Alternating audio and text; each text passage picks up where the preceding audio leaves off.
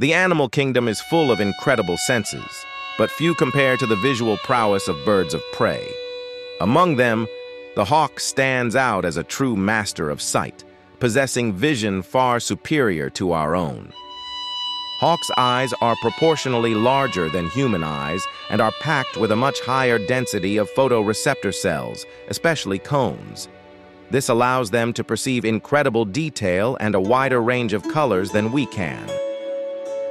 They can spot tiny prey like a field mouse from astonishing distances, sometimes miles away while soaring high above. Imagine seeing a small object with perfect clarity from the top of a skyscraper. A hawk can do that, and often much further.